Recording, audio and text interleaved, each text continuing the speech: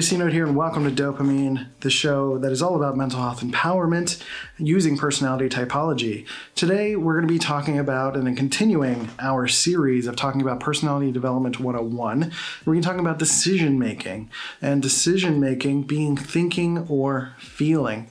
Now, before we continue, I want to let you guys know that this is basically a sort of beginner's course about personality development. And this is the free section. There's going to be more that you can purchase below that is going to be all about giving advice based on a lot of this information. We're going to talk about big topics in terms of career, relationships, parenting, stuff like that, how to use this as a tool in your life. And in the future, we're going to be doing a cognitive functions course which is all about sort of like what this four letter code actually means in detail. And then we're going to be doing a passive profiling course that is going to be all about basically the, the culmination of all of this. So you can learn how to understand like people in your lives and be able to identify which type they are based on certain behaviors patterns that we've seen and and uh, how we can sort of type celebrities and stuff in a responsible and thoughtful way that pushes this medium forward in a professional manner. So if you want to be a part of that, any of those courses, let me know in the comments below and I'll make sure you are included. So let's talk about decision making. Decision making is probably one of the places where it is most obvious to people. There are thinkers and there are feelers. I think that's pretty obvious to a lot of people. The one sort of mishap that tends to happen is the assumption that men are thinkers and women are feelers and that's simply not true. There are so many situations in which women are thinkers and men are more emotional. But because of the way that culture perpetuates this sort of like, you know, gendered uh, decision making dichotomy, because dichotomies are easy for people to understand, that it can sort of muddy the pool of like how we think we're supposed to behave. So a lot of feeler men may end up becoming more uh, stoic and and trying to be analytical when that is not elegant and natural to them, and vice versa for women. There's a lot of perception around like motherhood and parenting and being a female and being uh, and dating between genders as well, and all of the genders in between. that that there's this idea that you're supposed to behave a certain way, that looking like a mother has to look a certain way. And there are definitely thinker mothers out there. There's the um, the show Bad Moms, which is not safe for work. It's like that kind of thing. So if you're sensitive to that stuff, like I wouldn't watch it. But I think if you're interested in sort of the lives, thoughts, and experiences of thinker women, Bad Moms is such a good show about all of that. Um, So I kind of skipped to the explanation, but thinkers are basically focused on analytical data. They're focused on objectivity. What makes sense? What is provable? What is, you know, what is logical, straightforward? You know, pushing the emotions aside, what works? What makes sense? What is direct? Tell me the thing that kind of stuff. And then emotional, you know, emotionals, feelers are going to be more focused on how it feels for them, how it feels in their body, how it feels for other people, and depends again on which type of feeler you are. That again goes into cognitive functions.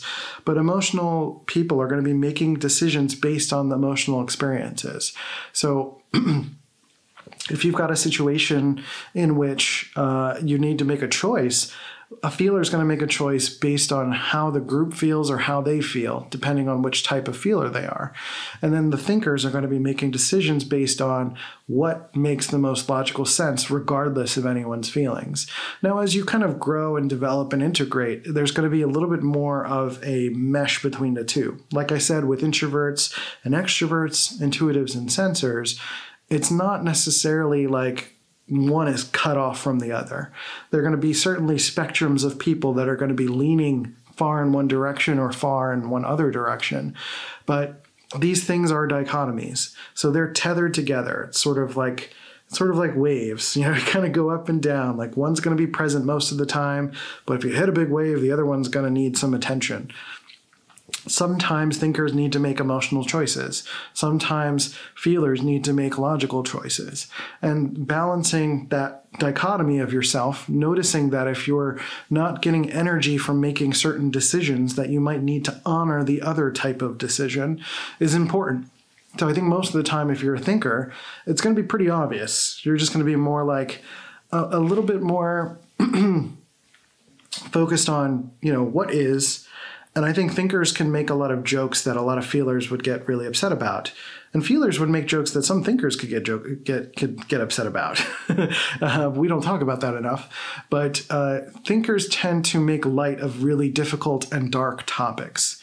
So we can make jokes around that thing because thinking is a form of protecting our emotions, and feelers are using their emotions to kind of sometimes having to avoid uh, you know, making cold choices that are going to be better for everybody in the long term, or even better for themselves in the long term. So the tricky part of that, again, I think, is the sort of gendered aspect of that, and making sure that you're making decisions that are honoring your individuality. So again, there's going to be so many external systems in your life whether that's like your job, your your friends that you hang out with, your parents, your uh, religious system, whatever, or history leading up to this point. There's going to be a lot around the expectation of who you are and how you show up to the world. And if you're a thinker woman, it's important to honor that. Even though you're going to have to mold and adapt sometimes, that's fine. Uh, the same is true for men you're feeler man and there's going to be more expectations to culturally be more stoic and manly right? Manly it's like thinkers i don't i don't know. Um, so when you're integrating the two and you're kind of balancing and flowing it's a little bit harder for people to put you into a box because you're sort of balancing between the two ideas and you're not one thing or another. So that's something I'm trying to sort of share throughout this entire process is that even though you're predominantly an introvert, there's an extra you still have to get out of the house. Or you might be predominantly an extrovert. You still need to like chill out and be quiet and sleep. And even if you are an intuitive and you're pattern recognizing and curious about what's happening behind the stage, you still need to watch the show. And even if you're so focused on watching the show, it is kind of interesting to know a little bit about what's going on behind the curtain. So, in the same sense, if you're a thinker and you're asking the analytical information and data, and you're like, you know what, for the most part, these are all the things that make sense. But how is what makes sense going to affect people? That's important to ask. And how is the emotional choices, even if we're going to make an emotional choice to protect everyone's feelings, how does that translate to what makes sense for myself or for everyone. Because if we're just trying to protect emotions, sometimes we might not be able to move forward and be honest with each other. Or we might not be able to build the systems that we need because we're just too busy trying to swat away our, all of the bad moral decisions, you know? So there's there's notions of of thinking needs to be protected in a lot of ways, feeling needs to be protected in a lot of ways. And it can get really tricky because decisions are important to us. So if the decision we've made doesn't jive with someone else's decision, that's where arguments occur. And I think it's important to separate the idea of arguments from discussion. Discussion involves asking questions. So if someone's in a decision making space, you need to be in a learning space. Where if you're in a decision making space, they need to be in a learning space. And you have to be willing to have that interchange back and forth. That's some of the challenges of the internet is that we are experiencing basically a lot of people's decisions on the internet. It's really hard, unless you show up on video, it's really hard to show how you've, it's really hard to show being in a listening space because no one sees you listening on the internet, right? They only see the decisions you've made. They only see the comments you've left, the tweets you've posted, the thing that you've decided to share. It's all about decisions on the internet. That's why I think things like TikTok are starting to take off because you get to see people being weird and you learn stuff from each other, right? It's not about convictions over and over again. So it's important that we've been kind of over inundated with convictions on the internet, and it's important. That's why it's important to have physical in person interchange with people so that you can experience that dynamic at play. Because learning styles and decision making are two sides of the same coin. It's this idea that human as humans, we need to input process, and then output. So that means like learn things, take time to coalesce and figure it out, and create something, and then put that creation out into the world. Regardless of what functions you're using, regardless of how that's coming together, that's sort of like a core pattern of human existence is input, process, output. And if any of those things are blocked, then that's when arguments occur. That's when like we get frustrated. That's when like, why aren't you listening to me? Why aren't you hearing what I'm saying? Because other people have their own methods of input, process, output. And that means honoring that. That means listening to what they're saying because they put a lot of work and thought into their decisions. And then asking questions and using your learning style to be curious, to see what they're saying, or to say it back to them. So I see what you're saying is this, this, and this.